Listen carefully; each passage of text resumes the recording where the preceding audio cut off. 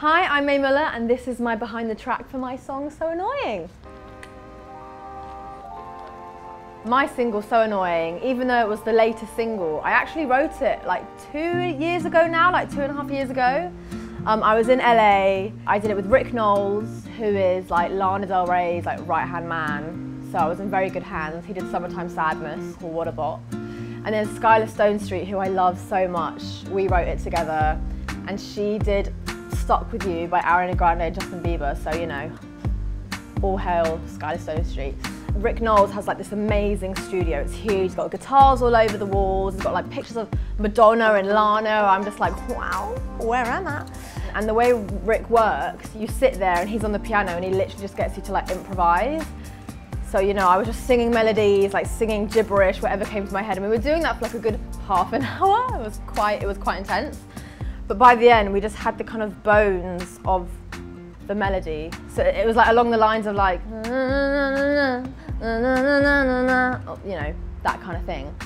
And then we kind of just had a chat about where I was in my life, what was happening, you know, spill the tea.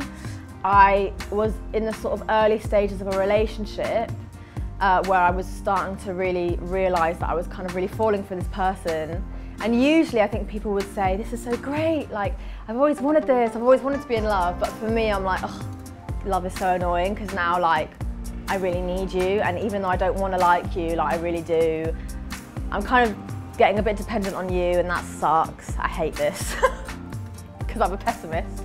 So that was, so that we kind of went along with that. And I always wanted it to be quite funny and tongue in cheek and light. So we also did a music video. It was a family affair because it was filmed by my aunt, Sophie. And then my two brothers were in it. I had a lot of my friends in it. So everywhere I looked, it was just like people that I loved everywhere, which was also really nice. What was also really nice is I was able to be really, really involved with the kind of lead up to the video. So me and my aunt, we went like location scouting. Uh, I saw all the locations and we kind of picked what was gonna work. But it's probably the best video I think that I've ever put out. I'm really proud of it and I think it really shows my, my personality and stuff. So go and watch it. So annoying.